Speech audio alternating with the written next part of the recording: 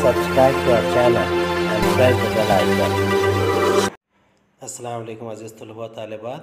Sir Abdul Sattar Khan इस YouTube channel में आप तमाम का इस्तकबाल है। Ninth class geography chapter third exogenetic process यानी तीसरे सबक, बैरूनी अमल, हिस्सा अव्वल में आप तमाम का इस्तकबाल है। आज हम सवाल के जवाब और सरगर्मियाँ देखेंगे। उम्मीद है पिछले वीडियो पसंद आए होंगे। हमारे वीडियो पसंद आते हैं तो इसे लाइक कीजिए शेयर कीजिए। और हमारे चैनल को सब्सक्राइब कीजिए। चलिए शुरुआत करते हैं। बैरूनी अमल, हिस्से अव्वल। सवाल पहला है, मुख्तसर जवाब लिखिए। पहला, अलिफ तबई फ़रसूदगी, यानी क्या? बे, कीमियाई फ़रसूदगी की अहम किस्में कौन सी है? जीम, हयातियाती फ़रसूदगी किस तरह होती है? दाल, फ़रसूदगी और तोदों की हरकत का फ़र्क वाजह कीजिए। पहले का जवाब तबई फ़रसूदगी क्या, यानी क्या? तबई फ़रसूदगी चट्टानों की कीमियाई साख्त में किसी किस्म की तब्दीली के बगैर चट्टानों की टूट फूट और इनका टुकड़े टुकड़े हो जाना, यानी इनमें तबई फ़रसूदगी होना है।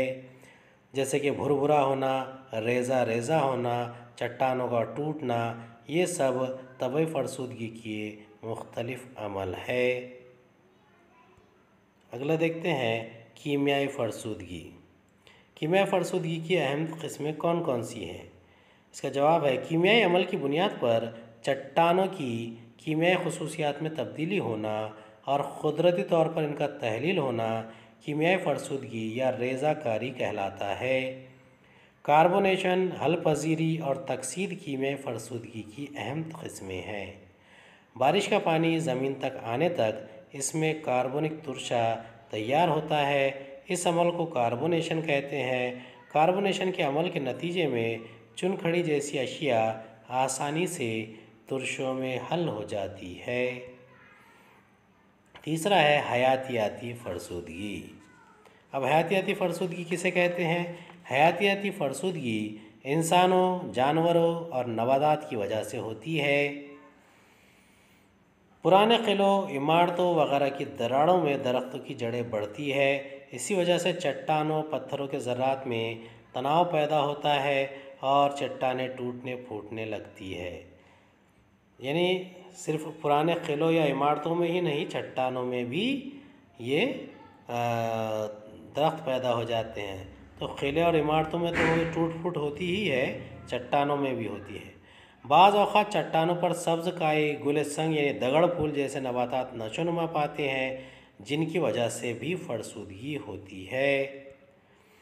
फरसूदगी और तोदों की झीझ का फ़र्क वाज कीजिए। कुदरती अवामिल की चट्टानों पर असरानंदाज होने से चट्टानों के टूटने और इनके मादनियात तहलील हो जाने से चट्टानों की क़वत कम हो जाने को फ़रसूदगी या रेज़ाकारी कहते हैं। रेज़ाकारी करना यानी बारीक बारीक टुकड़े हो जाना, रेज़े हो जाना।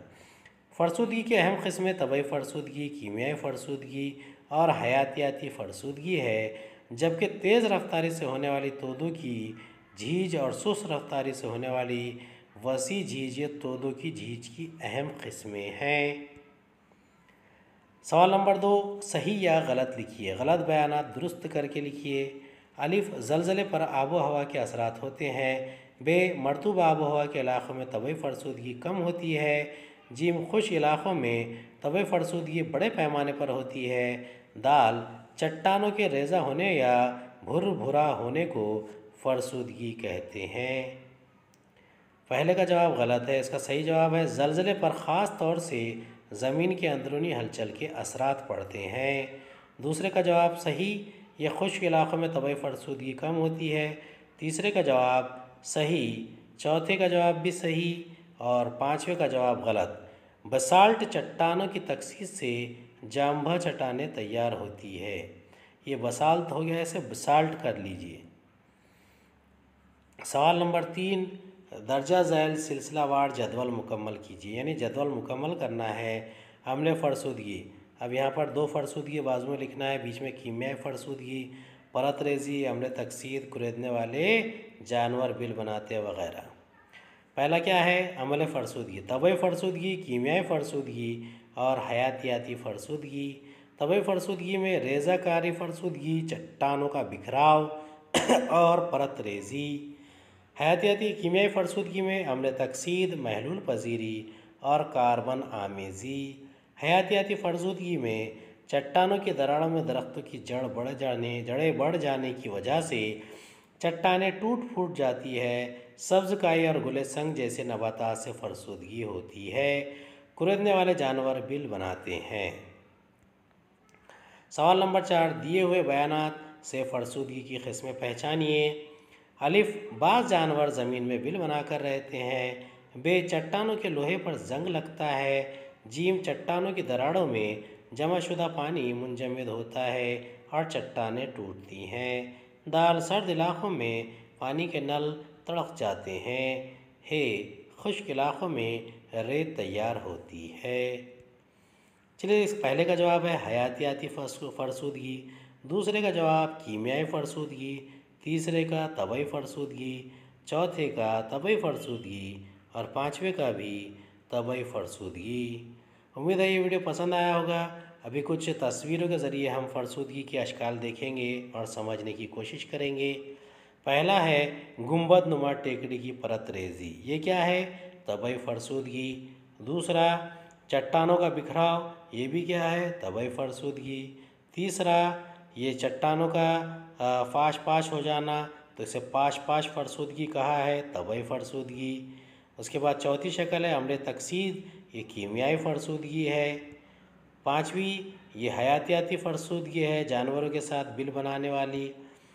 आ, उसके बाद हयातियाती फरसुदगी ये दरख्तों का चट्टानों में दरख्तों का उग जाना ये क्या है? हयातियाती फरसुदगी है। उसके बाद ये मूर्तियों में एक किस्म का कीमियाई अमल हो रहा है और कीमियाई फरसुदगी की एक मिसाल है। उसके बाद ये नमकियाती फरसुदगी ये भी क्या है? कीमियाई फरसुदगी की मिसाल है। उसके बाद झीझ झीझ ये भी एक फरसुदगी की मिसाल है। नमकियाती खलम, खलमकारी, यानी खलमाओं का अमल उसके बाद में रेज़ाकारी, यानी ये तबई फरसुदगी का एक अमल है। उसके बाद नमक के सतून वड़गांव वड़गांव नदी, यानी अहमदनगर में जो नमक के सतून है, ये भी कीमियाई फरसूदगी की मिसाल है। हयातियाती फरसुदगी, ये पुरानी इमारत है और वहाँ पर दरख्त उगाए हैं और ये हयातियाती फरसुदगी की मिसाल है। गुले संग यानी दगड़ फूल, ये भी हयातियाती फरसुदगी की मिसाल है। उसके बाद ज़मीन का खिसकना, ये तबई फरसूदगी की मिसाल है। और ये मट्टी का धकेला जाना, ये भी तबई फरसूदगी की मिसाल है। उम्मीद है ये वीडियो पसंद आया होगा। ज़मीन का धसना, ये भी तबई फरसुदगी की मिसाल है। अगले वीडियो में दोबारा मुलाकात होगी। तब तक के लिए खुदा हाफिज़।